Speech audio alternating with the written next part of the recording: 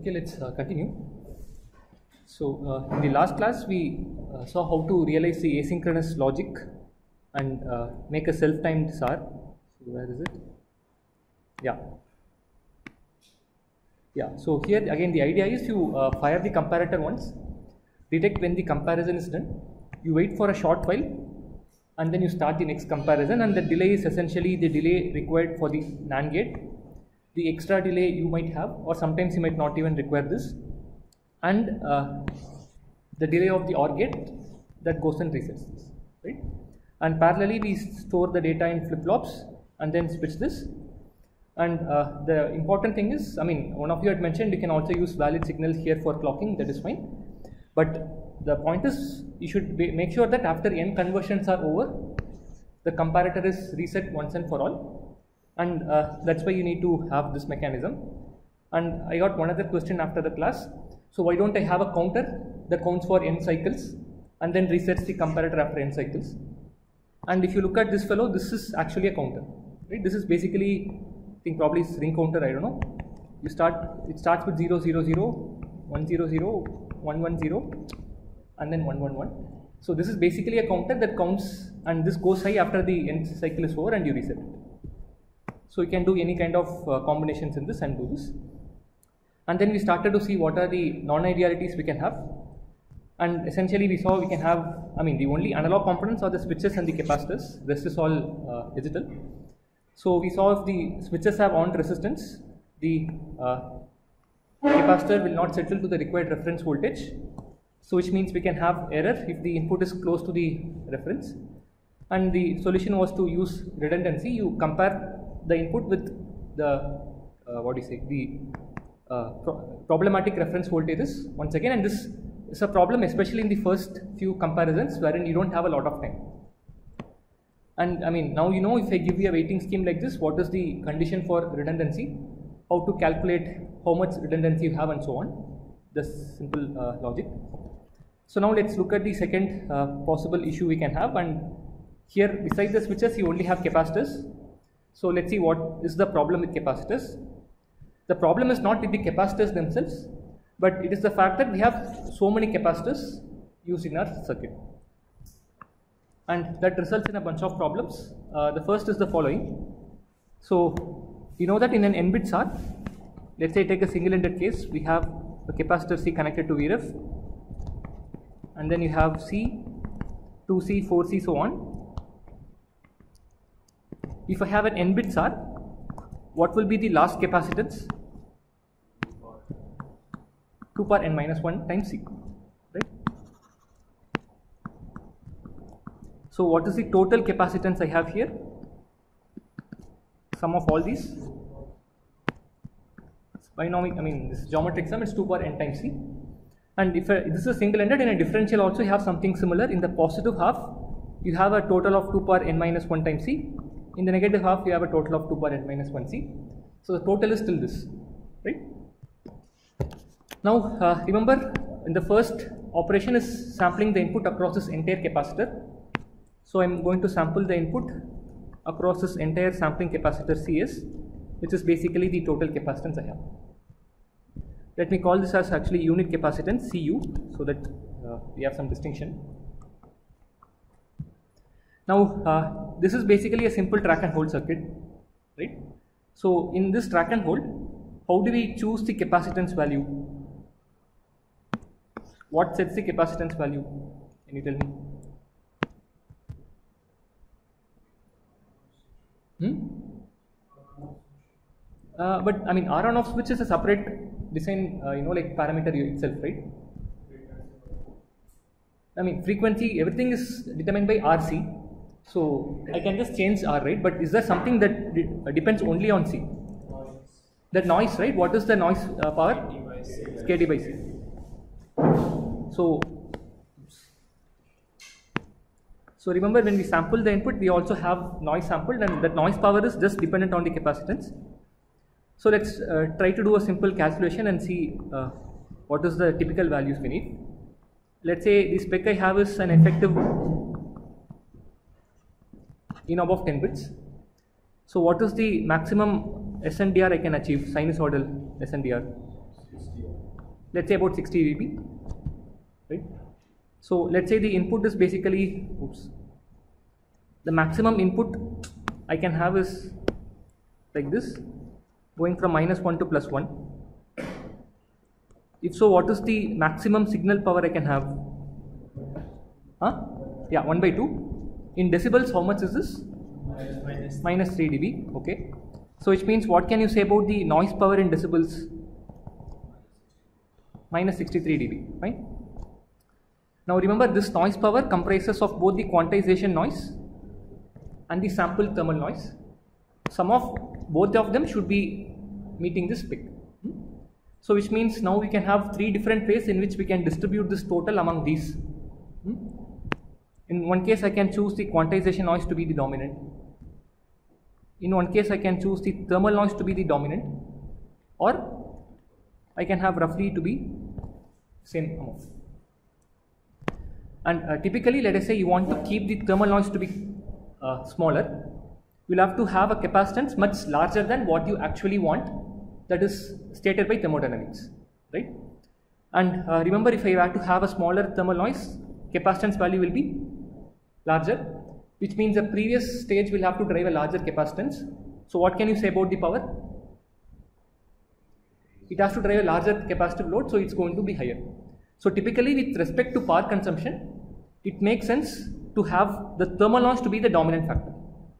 If you try to keep thermal noise to be smaller, typically the trade-off is the power will be higher. So with respect to power, we try to uh, do this. Again, this is assuming that to reduce quantization noise, my power consumption will not increase so much. Right?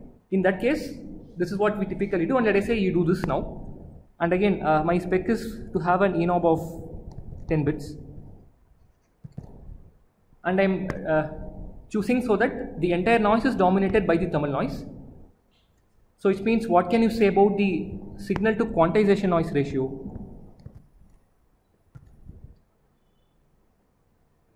Huh? Yeah, I mean this is a I mean this is a total SNR, but with respect to only the quantization noise, what is the SQNR I should have? It should be more than 60 dB because I'm keeping the quantization noise much smaller.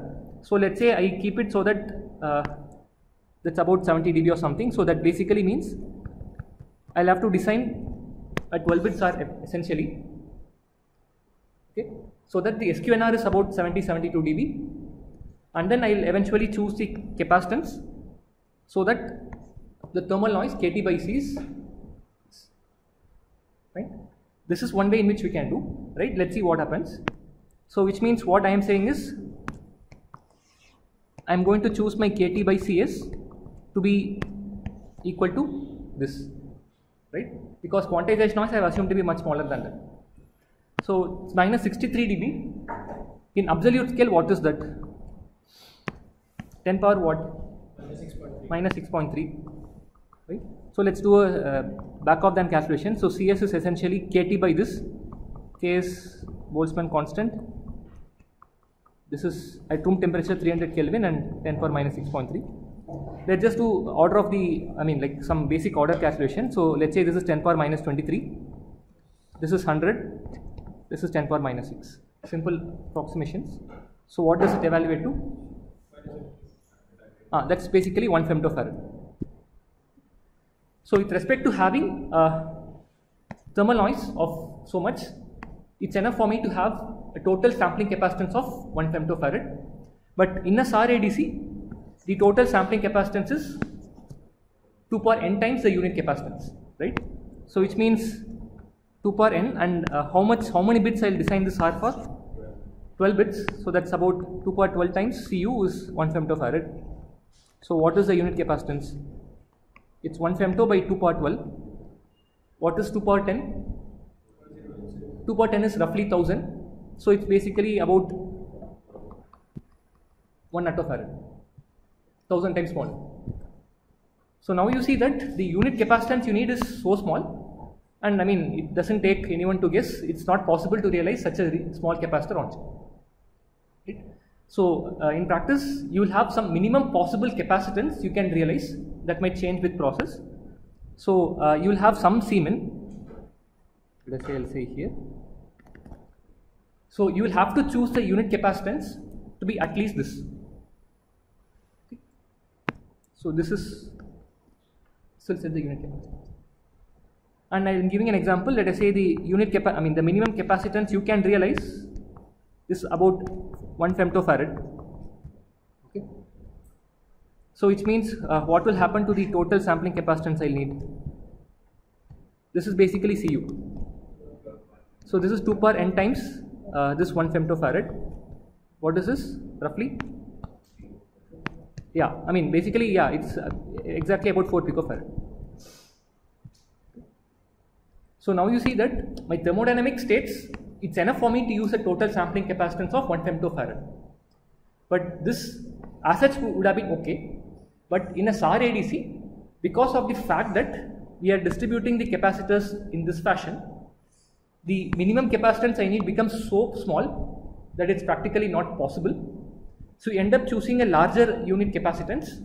So even the sampling capacitance is, you see it's 3 orders of magnitude larger. Okay. So which means in a SAR ADC, do you think, uh, I mean, you, in SAR ADC, which of the three regimes do you think we'll be designing? Yeah, now you see that you'll anyways have to use a really large sampling capacitor. So it is easy to keep KT by C really small. So most of the practical SAR ADC designs will operate in this region. So then we choose ENOB to be 10. Yeah, in this case you can choose ENOB to be 10 bits, right? Yeah. So if it chooses my quantization noise is the dominant, so SQNR can be just 60 dB. You can design a 10 bit. Okay.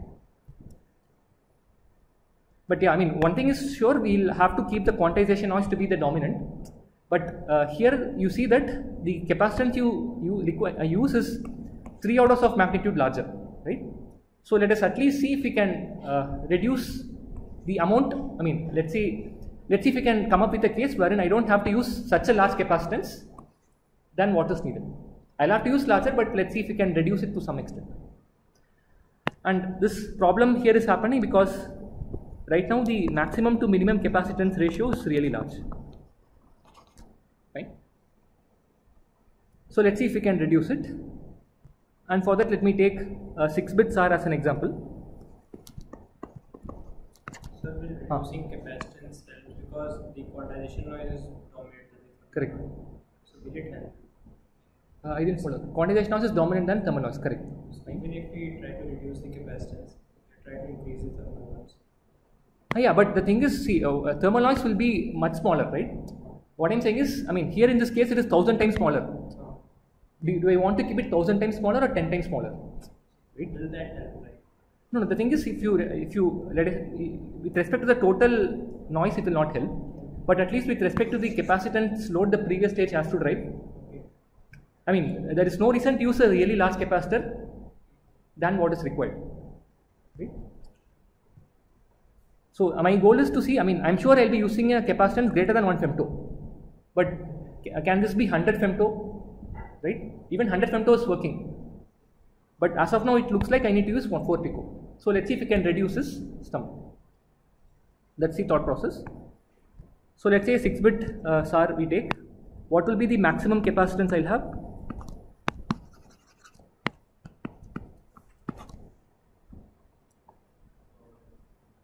Total capacitance is 2 power n times C. So the MSB capacitance will be this is 32 times C.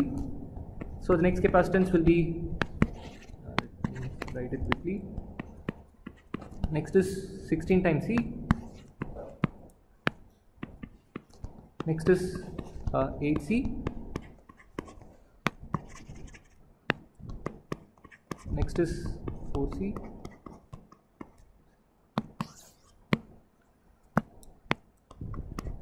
See, and you have this capacitor C always connected to VREF in the switching scheme that we saw. So I'll have something like this. Right? So the total capacitance I have is basically 64C and the max to the minimum capacitance ratio, how much is this? How much is max to min? Right? Cool. So now let us say uh, I want to reduce this ratio. So I am trying to see if I can use a smaller value for the Cmax. So let us say I uh, decide that I will only use a maximum capacitance of 4C here. So which means what will be the next capacitance? 2C. Next one will be? Next should be what? Yeah, C by 2, C by 4, C by 8 and right? This is what let's say I want to do. Okay. So uh, what I'll do, let me just copy this. Let me erase this now. And this is what I want to do. Oops.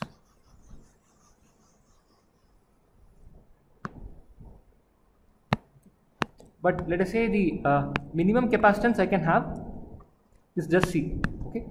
So it means anything smaller than this I can't realize. We do this. Yeah. So which means uh, till this point is when I can pro pro uh, properly realize, right? So this corresponds to how many bits of SAR resolution? If I just use these three, it's a three bit. So let us say as of now I, I know I can make a three bit SAR, right? So that is basically 4C, 2C, C and C. So uh, I have one 3 bit SAR which I can realize now. Totally I need 6 bits. So let us say I have one more 3 bit SAR. Now we have two 3 bit capacitive DACs. What is the natural question to ponder about? I want to get 6 bit. I have two 3 bit DACs. So what is the natural question you can ask? Can is it possible to combine these two to get a 6 bit? Right? So which means remember already I have a 3 bit here. Okay, so let me erase this. Sorry. The question is I already have one 3 bit here. Instead of using this portion, can I use this 3 bit That's the question I'm trying to ask. Fine. So let me again have a copy of this. Ah. Ah, it's a good question. So he's suggesting why don't I do this 2C? This is fine for C by 2, but let us say you are doing a you know like uh, 10 bit this you require C by 128 or something. Putting 128 is uh, not area efficient. Plus again, uh, when, whenever you do this, there's going to be a parasitic capacitor here, so that will kind of limit. But if it just you just are, I mean, you just want to realize 1 C by 2, you could do it. Cool. So now let me, uh, can you tell me what is the effective capacitance I see here? It's 1 8 plus 1 8, 1 4. This is basically C. But what is the effective capacitance I see uh, in this case? 8 times C, right? So basically, if I want to get rid of this portion and use this, I can't directly go and connect these two, right? Because earlier the total capacitance to the right was C, right now it is 8 times C. So uh, here I have a total of 8 times C, but looking in I want to have a smaller capacitance. What can I put in between? Hmm?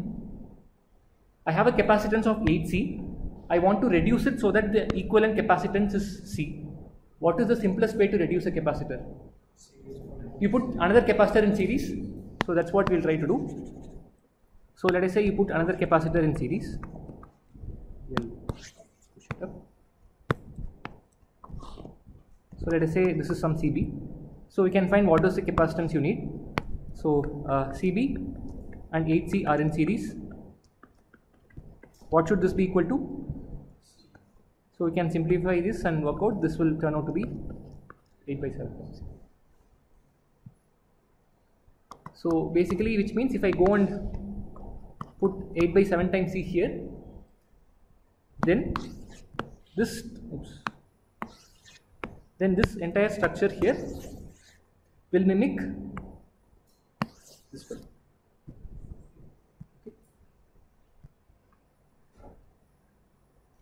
again I'll give that as an exercise. You can actually go and work out with charge conservation and see. So ideally now you just have to do this. Give this to a comparator and basically uh, switch these capacitors to VREF or ground nothing changes so I'll give it as a problem so that you work out and check if the voltage you get is corresponding to a 6 bit SAR that way you'll get a you know a hang of solving these problems so now basically you can generalize this We could applicate the same thing for the negative output. yeah, exactly. Yeah, yeah, yeah. True. This is basically I've taken a single-ended case. So now we can generalize this technique. Uh, now let us say I have an N1 bit SAR, I mean N1 bit capacitive DAC and an N2 bit capacitive DAC.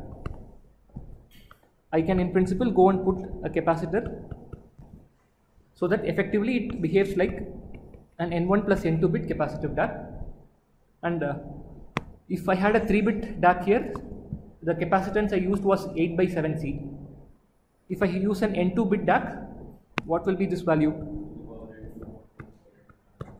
Nothing that's all okay.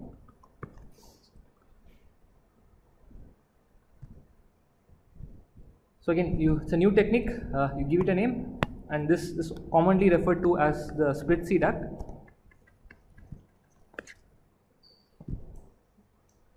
and this capacitor is often called as the bridge capacitor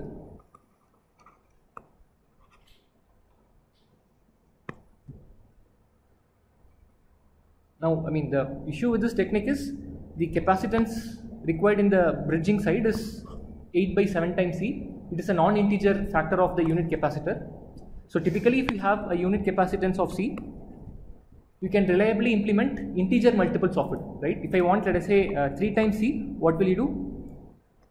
I have a capacitance of C.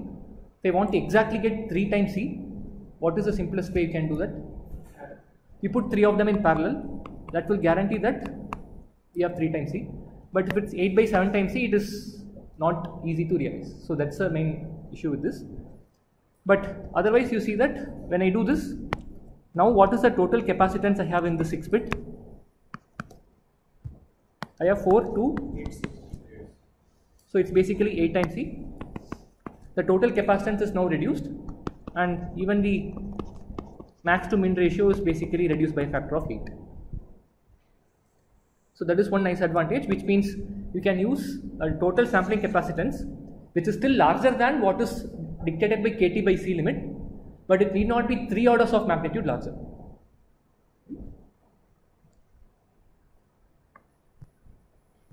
So idea fine?